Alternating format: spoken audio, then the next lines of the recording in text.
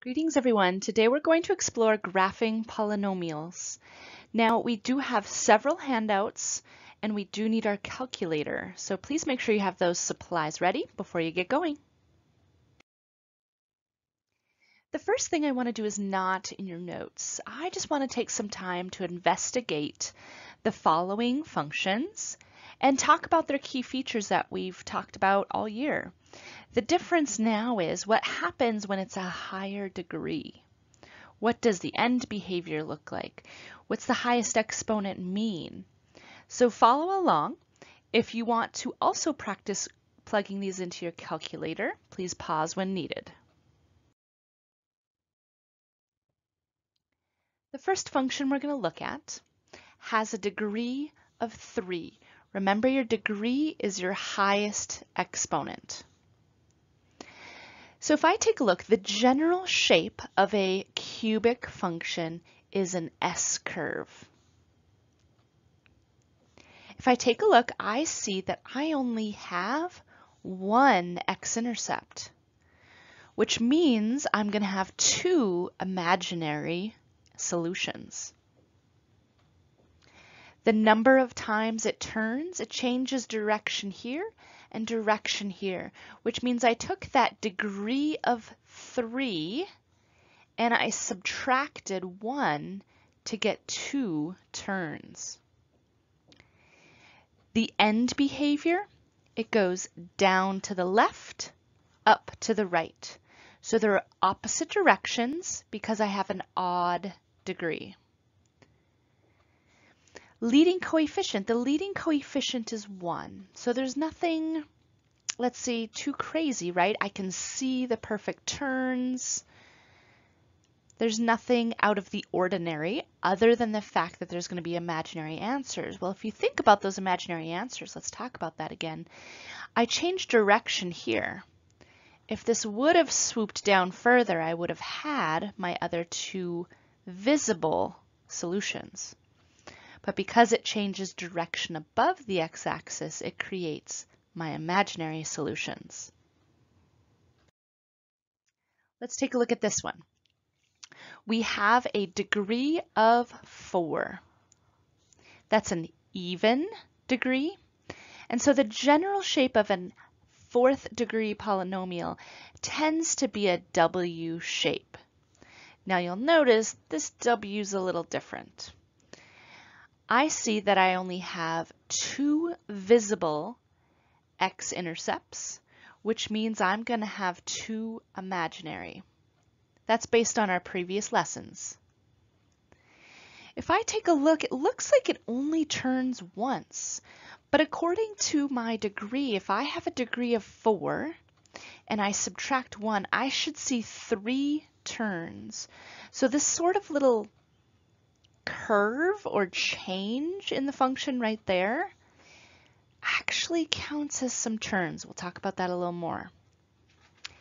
End behavior. I have a positive function. The leading coefficient's positive and it's even. So they're both going up. Kind of like when we had x squared, right? That meant a u up. Negative x squared meant a u down. So positive x to the fourth means w up. Negative x to the fourth means w down. My leading coefficient on this one is 1, which isn't too crazy. So what's making this piece here, this weird curve? Well, look at all of the additional information I have in the middle. I've got an x cubed squared and an x. When there's more information, my function is more unique. Take a look at this one. I have a degree of 3, so it's an S-curve. The general shape, I can see that it's clearly got that S-curve shape to it. I only see one x-intercept, but I'm going to have three solutions. So that means there's going to be two imaginary. The number of times it turns, I mentioned this before, it should be 3 minus 1. I should see it turn twice. So my S-curve here isn't prominent. It's more of just a slight S-curve. My end behavior, you'll notice I go up to the left and down to the right. So in general, if I trace it, I am decreasing. That's because my leading coefficient's negative. So if it's a positive x cubed, it increases. If it's a negative x cubed, it decreases. My leading coefficient's a negative 3. So again, normally, if we have a leading coefficient greater than 1, think of how that affected x squareds, versus if I have a fraction, how that affects things. Now, these are all just patterns. This isn't stuff that you have to memorize. It's just general ideas and patterns that we're going to start to notice, and it'll make things a little easier. Let's try another one. My degree is to the fourth power, um, and it's a negative leading coefficient, which means fourth degree and negative should be an upside down W. And it makes sense. My end behavior, they're both going down. As for the W, I've kind of got this weird curve in there again, right? The number of times it turns, it should be 4 minus 1. I should see it turn 3 times, but again, this weird curve in the middle. It almost looks like I have a cubic or an S function in the middle. I only see two x-intercepts, which means I'm going to have two imaginary answers. Let's try going up to a fifth degree. 5 is odd, and my leading coefficient's positive. So remember, x cubed positive was an increasing s curve. Notice x to the fifth in general is also an s curve, increasing over time. I only see one x-intercept. That means I'm going to have four imaginary answers. I see that it turns twice, well, if I take 5 minus 1, I should see 4 turns. That means there's some kind of weird curve here in the middle again. The leading coefficient's 1. So I don't see anything too crazy except for that curvature in the middle. Let's go up one more degree. Let's try to the sixth power. All right, so negative leading coefficient even. A negative x squared was a downwards u, right? A negative x to the fourth was a downwards w. So a negative x to the sixth, you'll notice is some kind of weirdness in the middle, but still both going down in the end for my end behavior. The general shape, I mean, everything stems back to that u. It's just what's going on in the middle that determines the middle. You'll notice I only have two visible x-intercepts. That means I'm going to have four imaginary answers. As for the number of times it turns, I mean, we see this definite turn here, but then I have again this odd behavior in the middle. All right, let's take some of those generalizations and turn them into rules, to notes that we can follow for all functions. So you do have this notes sheet provided. Let's talk about the first option. If I have an even degree, 2, 4, 6, right, and I have a positive leading coefficient, doesn't matter the number, I just care that it's positive, okay? Then that means my end behavior they're both going to be increasing, positive, positive. Now, the stuff in the middle could be anything, right? As we've just realized, it could be a W, it could look like it has an S curve. That doesn't matter right now. We just are worrying about the end behavior. All right, let's try the next option. If I'm talking about an even degree, 2, 4, 6, but I have a negative leading coefficient. Well, that would look like a downwards U or a downwards W or a downwards whatever that mess is. So we are going in the negative direction. We are decreasing on both.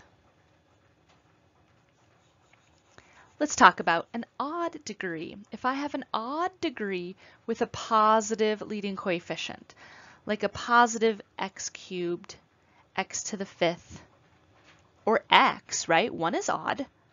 That would be a positive line, a positive s, a positive crazy stuff in the middle. In that case, the left side is going to negative infinity and the right side's going to positive infinity. And then again, the stuff in the middle could look any which way depending on the function. All right, let's try the last one. If I am talking about a odd degree and a negative leading coefficient, negative x to the first, negative x cubed, negative x to the fifth. That's a decreasing line. That's a decreasing s. Okay, so what that means is on the left side, I'm going to positive infinity as I go left. On the right side, I'm going down to negative infinity. Now for me, I'm visual, so the graphic makes a little more sense and then I can imagine what might be in the middle. So what's going to happen is how this helps is if I give you a function and I do not use a calculator, you can at least draw the ends of the function without any technology. But let's talk about the technology piece. You do have this note sheet, and what this note sheet does is it provides you the steps to finding the changes in direction, the points that I have for a local max or a local min. So these are the directions. We will go over these. Um, if the title page is wrong and you fold it like a book, you might need to retitle it. So please make sure you have that in front of you during this process. Alrighty, at this point we are going to use our technology, so you'll want to have your graphing calculator ready and we're going to go through the steps of how to type this in and how to use that little cheat sheet for the steps for the maximum and minimum.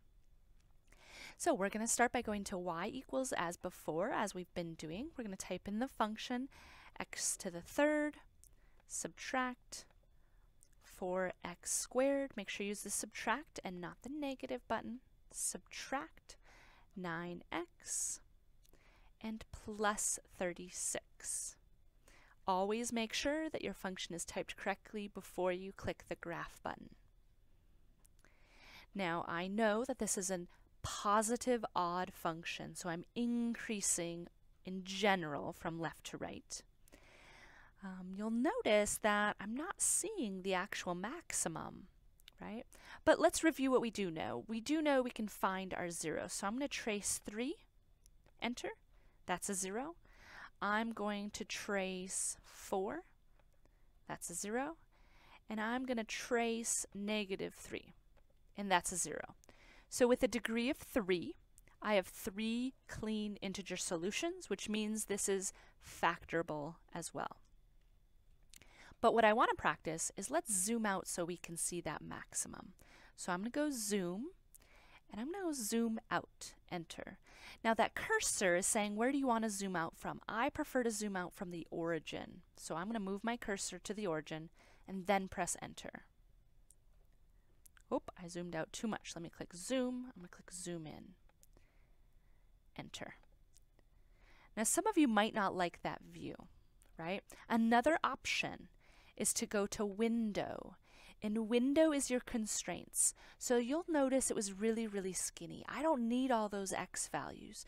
So for my minimum x, I'm going to keep it negative 10.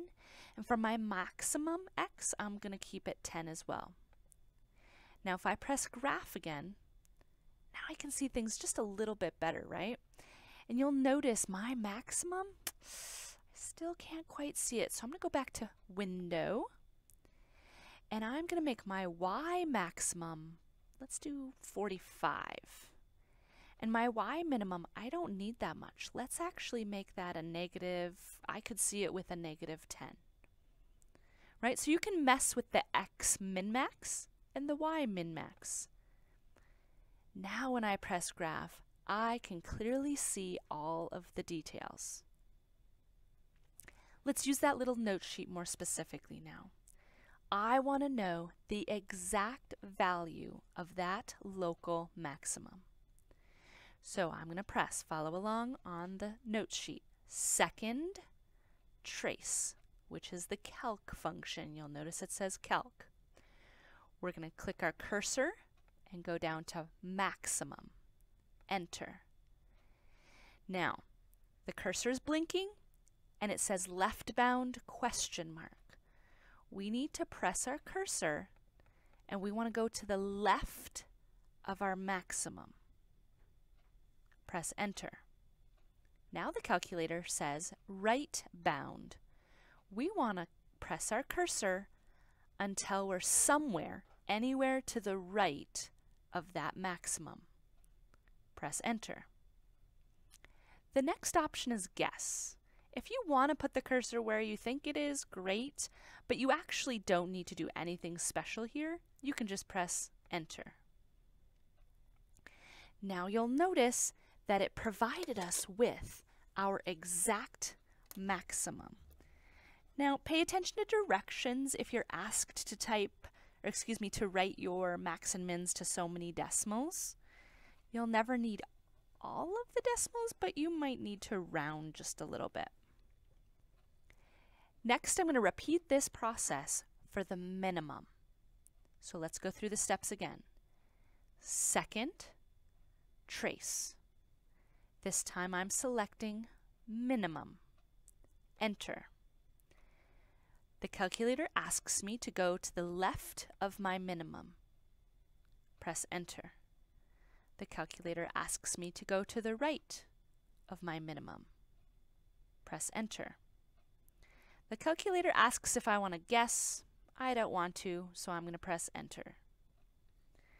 I now have my minimum with an extended decimal value. Pay attention to the rounding requests.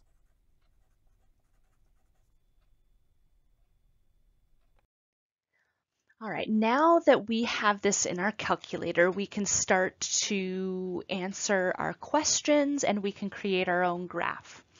Now, because uh, physically I'm going to give you a 10 by 10 graph, um, what we really want to pay attention to is specifically plotting our zeros correctly, especially since they were clean. If they're not integers, you're just going to estimate. From those intercepts, from those solutions, my end behavior can be kind of generic, right? Um, the other thing we can do is actually plot our max and mins. So my max was 3 something, 1 something. So I can actually just put that in the middle of the square and connect those dots. Now my maximum was ridiculous, right? It was over 40. So just go off the graph a little bit. You'll identify that number later. And so just go off that graph and then connect. All right. I'm going to know what you mean by going off the graph when you identify the key features. So let's identify those key features. My degree is 3, which means I have three possible solutions. The max number of turning points is your degree subtract 1. So my maximum number of turning points is 2. And as we know from our explanation, it's often less. Even odd or neither, definitely neither. There is no symmetry to this anywhere. Increasing, decreasing. Let's start with increasing. I am increasing from negative infinity to the x value of my maximum, which was negative 0.85. So you can look at your calculator again.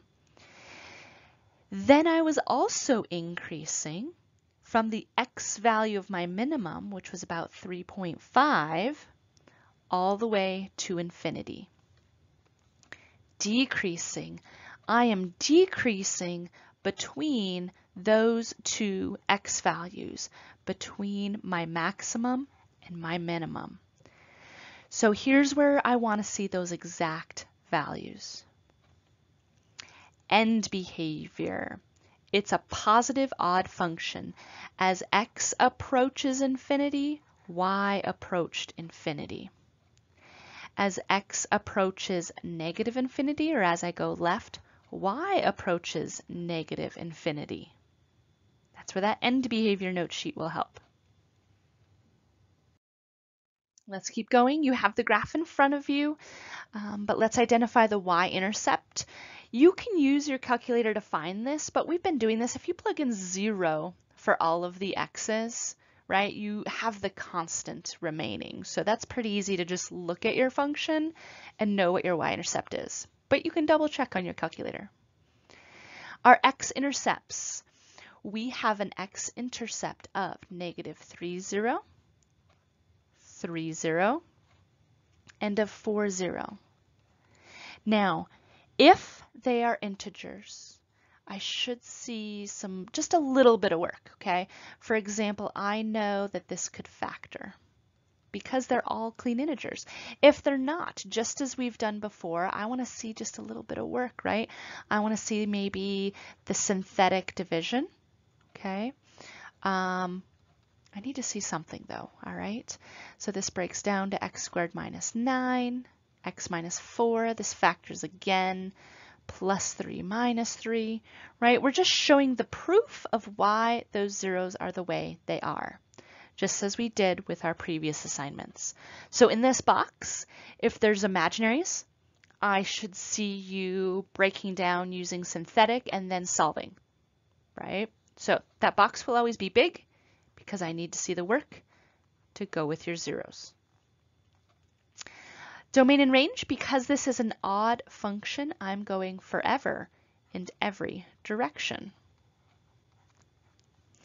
Extreme, local, and absolute. So here's where we have our local max and min. Let's say for our local max, um, again, we might change, but let's go to two decimals for right now. My local max, according to my calculator, was negative 0.85, comma 40.15. I'm going to round that to a 5. My local min that I found on my calculator was 3.52 if I round, comma negative 1.63 if I round. We have no absolute because it goes forever in both directions. Continuous, yeah, it's continuous. And boundedness, there is no boundedness. Oops, let's just say no boundedness. Um, because again, it's an odd function. I'm going forever in every direction.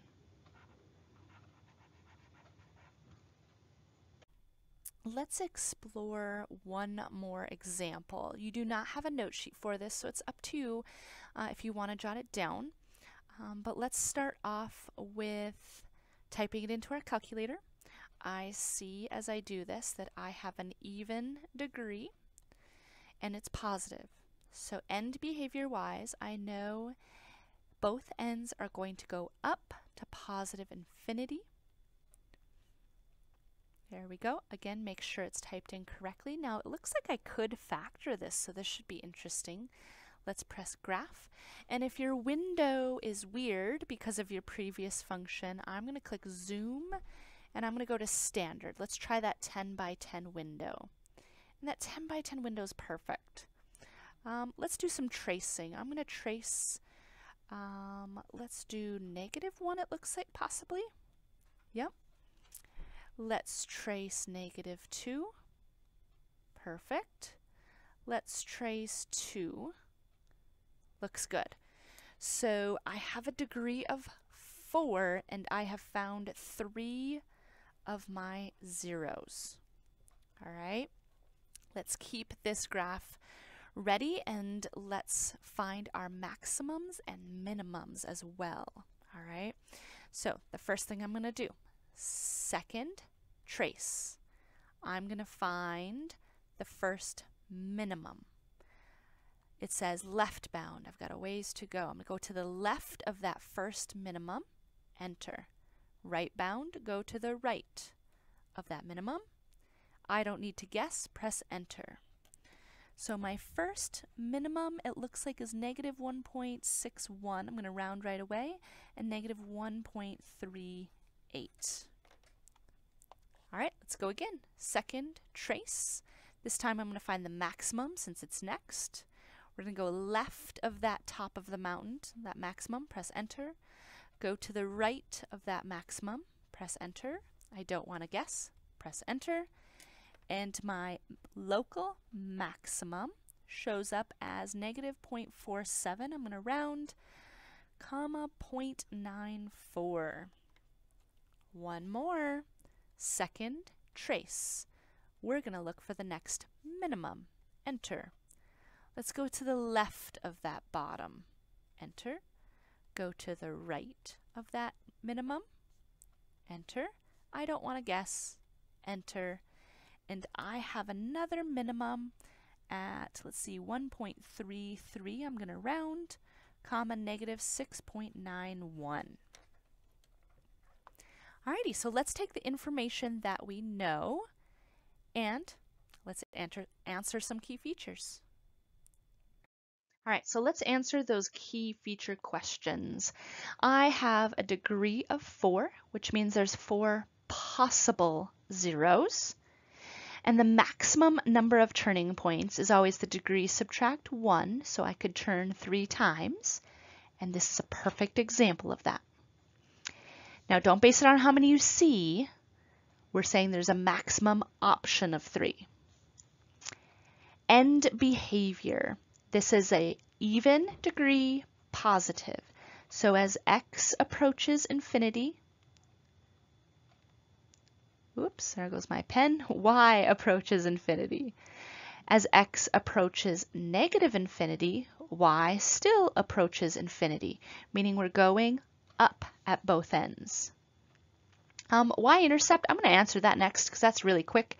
We're going through the origin since we don't have a constant. Um, I'm going to jump up to domain and range. I'm going forever left and forever right for my domain. But for my range, I do have an absolute minimum. I need to use that decimal value that I found on my minimum, which was negative 6.91, and I'm forever increasing.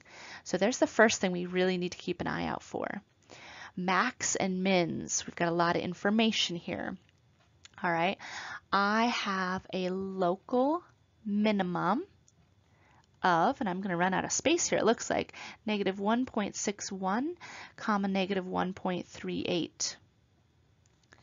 I have a local and absolute minimum at 1.33 comma negative 6.91 and I'm going to jump down here where I have some more room.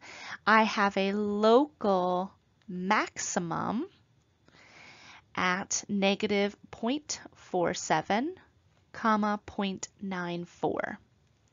So make sure you're identifying them correctly. All right, continuous, yes, continuous, and it's bounded below. It's like we have a wall below that we don't cross. Extrema, we have an absolute minimum. And that absolute minimum, we already identified it, but let's write it one more time. X intercepts, zero solutions. Here's where I'm going to have to show a little more work. So I'm going to bring that onto the next slide here. Um, increasing, decreasing, let's take care of that. We actually have three intervals. So increasing, let's talk about that first. I am increasing excuse me, we have four intervals. I am increasing from here to here if you look at my graph, right? So that's the x value of my first minimum, which was negative 1.61. And I'm increasing all the way to the x value of my maximum, which was negative 0.47. And then I'm also increasing from here to here. So that's the x value of my absolute minimum, which was 1.33 to infinity. Decreasing. I am decreasing from here to here. So from negative infinity to the x value of my minimum, which was negative 1.61. And then I'm also decreasing here. So from the x value of my local max, which was negative 0.47. I am decreasing to the x value of my minimum. Notice how I reused all the decimals in this. So if you use it once, you're going to use it again in your increasing, decreasing.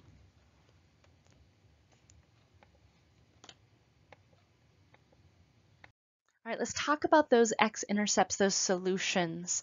Um, so we found three of them clearly. We had the negative 2, the negative 1, and the 2, but we know we need one more. So let's backtrack to finding all zeros. I'm going to use synthetic division to break this down. I have a 1, a 1, a negative 4, a negative 4, and a 0, right? I have a constant here of 0. So I'm going to start with my negative 2. So this is all review. If you feel like you can skip this, please do so. All right, so remainder is zero, constant x, x squared, x cubed, right? But I don't even need to identify that yet. I don't need the remainder. Let's go again. This time, let's use the negative one to break it down. If you need help with this, please make sure you see the previous videos. Remainder is zero. Let's go again. This time with our two, zero, zero. That's our remainder. And what that means is remainder constant x. So what I have left over is a 1x equals 0. What? You guys, we crossed at the origin the origin is a zero that we have not accounted for in the past. Zero is a solution. Zero is an x-intercept. We proved it, so we've got the work to prove it. There's other ways you can prove it as you know, but don't forget about zero. Notice the pattern. If there's no constant, that's your y-intercept. If that's your y-intercept, it's also your x-intercept.